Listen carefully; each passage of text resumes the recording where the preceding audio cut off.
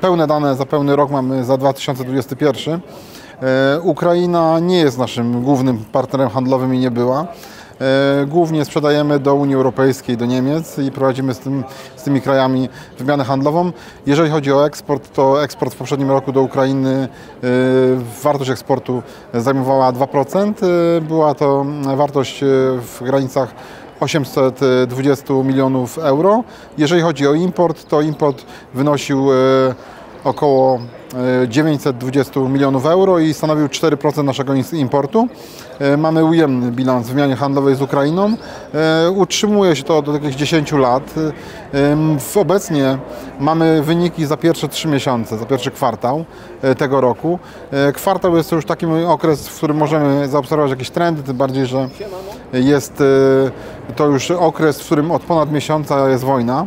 E, I w tym okresie eksport e, towarów do Ukrainy spadł. My głównie eksportowaliśmy wyroby mleczarskie, galanterię mleczną, e, pasze, pasze i wzrósł import w tym czasie z Ukrainy.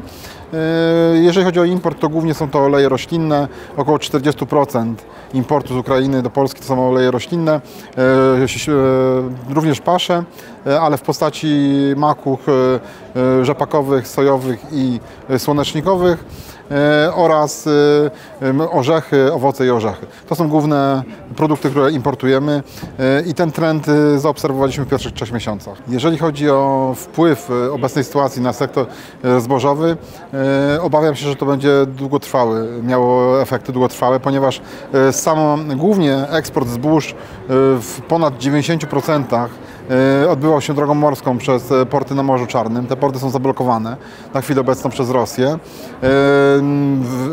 E, Te wody też są zaminowane i sam proces odblokowania, odminowania e, tych wód może nawet zająć e, do półtora roku, jeżeli oczywiście by do jakiegoś porozumienia doszło.